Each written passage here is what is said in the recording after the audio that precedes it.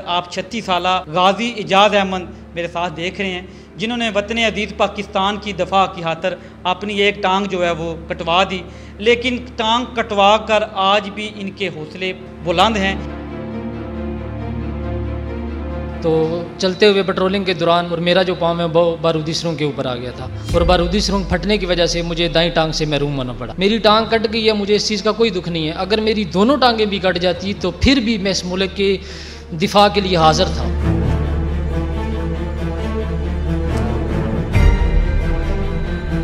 वतन अज़ीज़ पाकिस्तान पर जब भी कड़ा वक्त आया तो हमारी पाक आर्मी के जवानों ने सीना तान कर दुश्मन का मुँह तोड़ जवाब दिया और वतन अज़ीज़ पाकिस्तान के दफ़ा की खातर अपने जानों के नजराने पेश किए। मैं इस वक्त सरालमगीर के इलाका ढाल महमूद में मौजूद हूँ और जहाँ पर हमारे साथ आप छत्तीस साल गाजी एजाज अहमद मेरे साथ देख रहे हैं, जिन्होंने वतन अज़ीज़ पाकिस्तान की दफ़ा की खातर अपनी एक टांग जो है वो कटवा दी। लेकिन टांग कटवा कर आज भी इनके हौसले बुलंद हैं। इनका कहना है कि आज भी अगर पाक आर्मी मुझे जो है वो बॉर्डर पर भेजे तो मैं सीना तान कर ये मसनू टांग लगा कर जो है वो दुश्मन को नाकू चने चबा दूँ। आइए गाजी एजाज साहब से बात करते हैं और इनसे जानते हैं कि ये कैसे आपने पाक आर्मी का सफ़र जो है वो शुरू किया और कैसे ये वाक़ पेश आया। अस्सलाम वालेकुम अस्सलाम। बस बचपन से मेरा शौक़ था और शुरू से मैंने कहा था कि मैं इन बड़ा होकर पढ़ कर आर्मी में जाऊँगा। और अल्लाह पाक का लाख लाख शुक्र है कि अल्लाह पाक ने मुझे हिम्मत दी और मुझे चुना इस मुल्क के दिफा के लिए मुल्क की खिदमत के लिए। और अल्हम्दुलिल्लाह आज भी मैं हाज़िर हूँ और इन इस मुल्क का दिफा करते रहेंगे। तत्ता पानी आज़ाद कश्मीर एल ओ सी पे। अच्छा। जी। कैसे ये सारा मामला पेश आया? ये रात को हम पेट्रोलिंग कर रहे थे बॉर्डर के ऊपर। तो रात को रात का टाइम था तकरीबन दो बजे का टाइम था।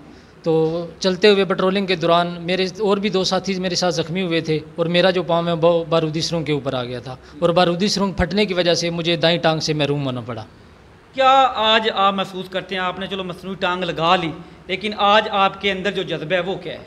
जी, अल्हम्दुलिल्लाह, मुझे पहले भी पाकिस्तान आर्मी पे फ़ख्र था और अब भी है। मेरी टांग कट गई है, मुझे इस चीज़ का कोई दुख नहीं है। अगर मेरी दोनों टांगें भी कट जाती तो फिर भी मैं इस मुल्क के दिफा के लिए हाज़िर था। छः सितंबर योम दफ़ा पाकिस्तान, जहाँ पर छः सितंबर को हमारे वतन अज़ीज़ पाकिस्तान की दफ़ा की खातर जो लाखों जानों ने नजराने पेश किए। इसके मतलब खसूसी पैगाम मैसेज क्या है? इसके मतलब है पैगाम मेरा यही है, दुश्मन को मैं एक पैगाम देना चाहता हूँ। जो कहता था कि मैं लाहौर में जाके नाश्ता करूँगा तो उस सूरत में हमने अभिनंदन को बहुत अच्छे तरीके से नाश्ता कराया है। और इन आइंदा भी, जो भी हमारे पाकिस्तान मुल्क की मैली आँख से देखेगा, उसको उसका यही इंजाम मिलेगा और इससे भी वाला मिलेगा। एजाज अहमद छत्तीस साल जिन्होंने तत्ता पानी आज़ाद कश्मीर के मुकाम पर जो है वो दुश्मन का मुकाबला करते करते अपनी टांग कटवाई।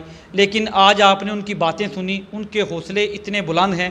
उनका कहना है कि अगर मेरी दोनों टांगें भी कट जाएँ तो मैं वतन अज़ीज़ पाकिस्तान के दफ़ा की खातर जो है वो बार्डर पर खड़ा होकर दुश्मन का मुकाबला करूँगा। मज़ीद ख़बरों और अपडेट के लिए देखते रहिए न्यूज़ अलर्ट गुजरात।